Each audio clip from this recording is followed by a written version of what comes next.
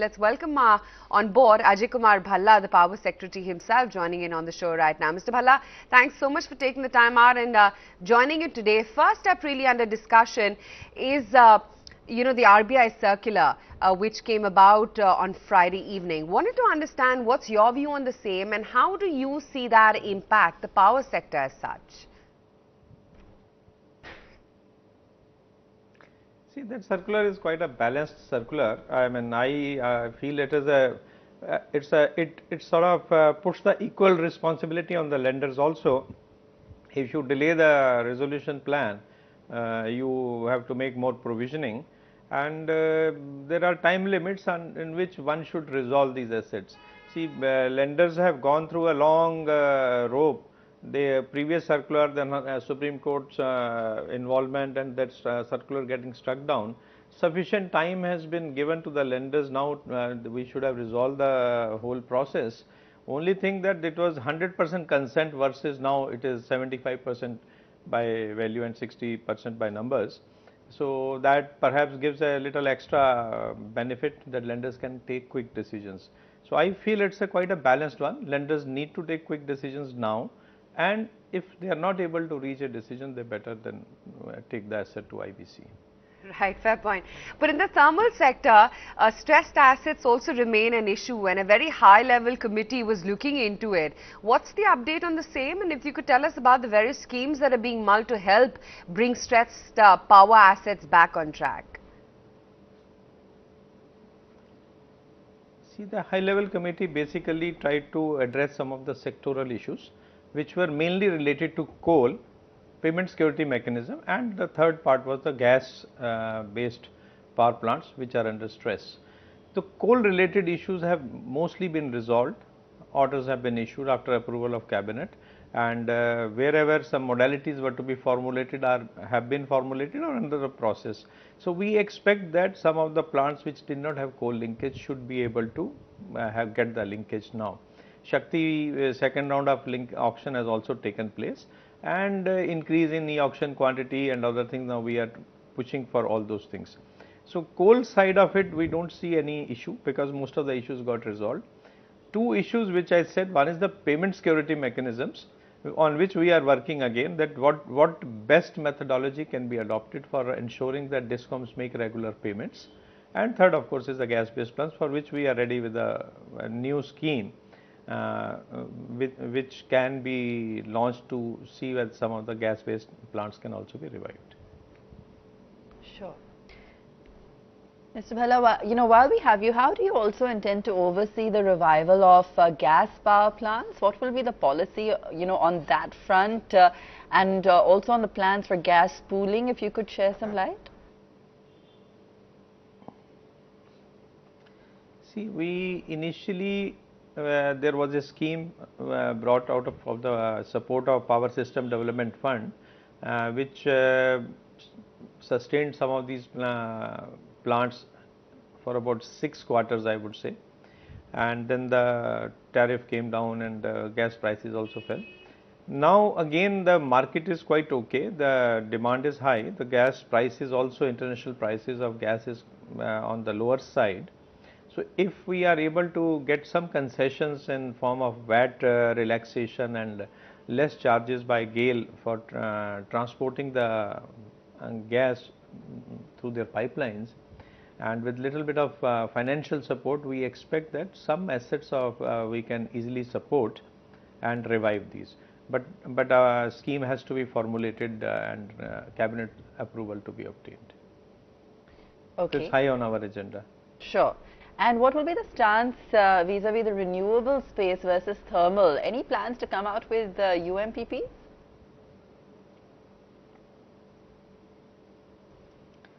We have uh, made our uh, UMPP documents, uh, we have revised those documents. Uh, if you recall one UMPP was, once it was bid out, there were not many bidders. So, we have made some changes in our bid documents. Of course, presently uh, uh, we are resolving some of the earlier UMPPs which had coal blocks here marked and those have not uh, gone through. So, we need to uh, work little more as far as UMPP is concerned. Renewable definitely we need to achieve our target of 175 gigawatt on which we are working very seriously. Uh, we have brought in one or two schemes uh, which will bring, uh, bring flexibility like blending of renewable energy along with thermal by companies like NTPC.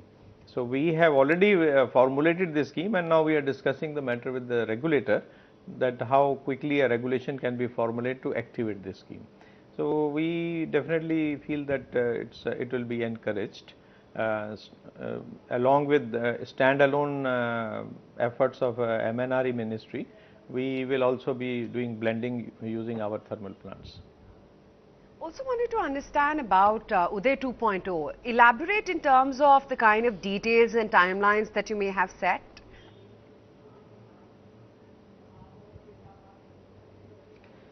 See the Uday targets many states have achieved or, or close to achieving it but uh, March 19 was the uh, deadline for most of the states to reach 15 percent losses which in many states it has not been able to.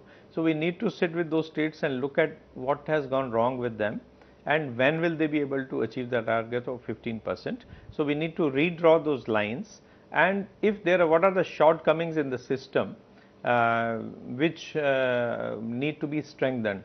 So, along with this uh, of uh, trajectory, we would be looking at what in case let us say I mean high loss areas what should be done. Can we bring axial bunch cables, can we bring underground cabling there, so or smart metering. So, what are the areas where the DISCOMs have not been able to control losses? We would like to supplement our existing schemes like the Deen Dayal Upadhyaya Gram Jyoti Yojana or IPDS to supplement uh, efforts to ensure that the losses are checked. Basically, if the losses are checked and I mean the billing efficiency has gone up, the collection efficiency has gone up, but still there is certain area where the uh, which is still left out. So, high loss areas we will we need to supplement the discoms with the support uh, which will bring infrastructure to check these losses and redraw of the this thing. The uh, tariff petitions have were being filed very regularly. There have been some slackness in some states in the during the last year, which we are now again uh, taking up with those states that you should immediately uh, file the tariff petitions. There was an order of APTEL few years earlier that regulators have suo power of uh, uh, fixing tariff if the state uh, discoms are not filing tariff petitions. We have reiterated those instructions that wherever uh, if the state discom is delaying filing of tariff petition regulators should take up the matter suo motu and fix the tariff. Mr. Bhalla, you know, what about plans for uh, new PPAs? Uh, also, with regards to stranded assets, uh, you know, any plans on how you intend to deal with those? See, if we look at stranded assets which are commissioned, there we have definitely a clear action plan that what can be done. 1900 megawatt as I said, we, we had contracted earlier. Last year the power has started flowing. 2500 megawatt we have um, gone another round of bidding and now we are working with the discoms to buy this power also in the medium term. So, I mean uh, if I look at I mean there is another 6 to 7000 megawatts of commission capacity left which we need to resolve. We see now state governments of Madhya Pradesh, state governments of Gujarat coming up with uh, uh, looking for coal linkages for fresh bidding, fresh round of bidding and all, where some of these assets can get uh, uh can get coal and start supplying power, they will get PPAs. So, I mean, uh, if I look at the growth trajectory and the kind of capacities we have, uh, it, it's a matter of time that uh, most of the commissioned capacities we should be able to resolve over a period of next one year or one and a half year.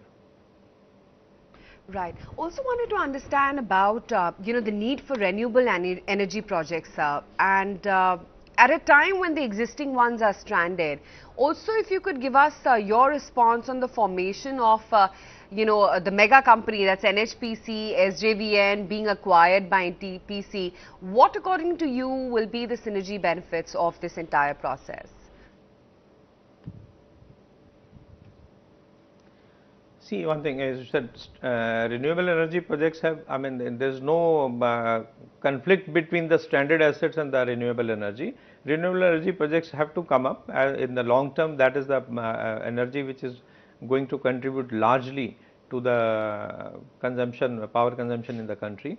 Uh, some of the thermal assets and gas based assets and hydro plants will be definitely used as balancing plants or to meet the peak load requirements when renewable energy is not available. So, a big very proper energy mix after due modeling has already been prepared. We will be placing it in the public domain uh, for energy mix up to 2030 and uh, that takes care of not only the existing capacities, the stressed capacities or whatever new capacities are required in the thermal domain and whatever mm, uh, maximum solar and wind uh, capacities which we would like to do in uh, by 2030 will also be there. Uh, now coming to this acquisition of companies, it's a, I mean, if NTPC finds advantage in acquiring a hydro sector company to diversify their portfolio, they can examine that and if uh, it comes to uh, this thing then government definitely will look at it. But the commercial aspects uh, which a company like NTPC need to look at and then take a call. So, I mean as of now there was a proposal in the last financial year which uh, uh, there was some discussions with government of Himachal Pradesh as far as SJVN was concerned. Uh, now we will look at the things afresh and see whether NTPC can gain extra this thing if they diversify their portfolio then we will discuss with government of Himachal Pradesh and see what best can be done. It has to be in the best interest of the sector. Right. Uh, also, the Ministry of Power had proposed a breakthrough amendment of making 24 by 7 power supply an obligation for DISCOMs. Is this really possible and achievable and can it really be made a reality soon? Yeah, why not? See, we, I mean, have spent a lot of money. See, 24 by 7 as far as power supply is concerned is not an issue. The question comes is the infrastructure availability and the second next part would be the health of DISCOMs. Infrastructure wise, we have spent a lot of money uh, through the Deen Upadhyaya Gram Jyoti Yojana on feeder separation and strengthening of infrastructure in villages, in rural areas. Urban areas, we are already, I mean, I would say we have very good infrastructure and we are only modernizing it. We are putting IT applications in uh, under IPDS and all, SCADA and others so that the automation is there. But in rural areas, we are spreading the infrastructure now under uh, various schemes. Saubhagya had taken the connectivity right up to each household, but the back end strengthening is still going on under the Deen Dayal Upadhyaya Gram Jyoti Yojana. So, if the infrastructure is in place, supplying 24 by 7 power is not an issue. Question would be metering and recovery of the charges. So, we are encouraging prepaid metering in our system. In uh, next 3 years time, we would propose that we should put all smart meters which, which can function in prepaid mode. Uh, it it, it uh, has to be a cultural kind of change when in the mobile telephony we, we went into a lot of flexibility of payment mode. In power sector also we definitely are looking forward to such uh, remarkable changes. So, I do not see that 24 by 7 is an issue. Uh, DISCOMs need to work harder. They may have innovative things. They can bring franchises. They can have supply side companies. They can look at different uh, models, which all of us would be working together as a team and trying to ensure that this 24 by 7 sustainable model is uh, is a reality. All right, Mr. Bhalla thanks so much for joining us. Uh, uh, you know, great to get an in-depth perspective Thank from you. on all the key uh, Uh, developments there with regards to the power space. Thanks so much for joining us this morning.